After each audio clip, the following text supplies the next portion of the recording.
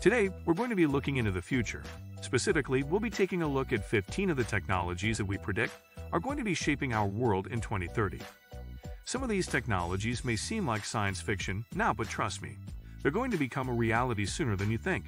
So let's dive in and see what the future has in store for us. Number 1. People will control things around them by merely thinking about them. A brain-computer interface, BCI, is a device that records users' electrical signals and enables actions to be directed by merely thinking about them. BCIs are already being used to help people with paralysis or other conditions affecting movement. In the future, BCIs will become more widespread, helping people to control devices with their thoughts alone. Some experts believe that BCIs could even be used to enhance human cognitive abilities, giving people the ability to process information more quickly or remember more information. Number 2. Extinct species could be resurrected. For centuries, humans have driven species to extinction.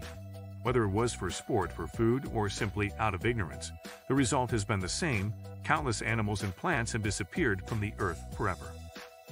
However, with the advent of genetic engineering, it may now be possible to bring some of these extinct species back to life. By using DNA samples from museum specimens or preserved remains, scientists could potentially recreate long-lost animals and plants. While there are many ethical concerns surrounding this process, known as de-extinction, it could have tremendous benefits for conservation efforts.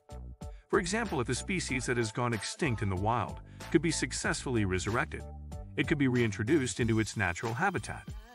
This would help to restore balance to ecosystems and prevent further extinctions.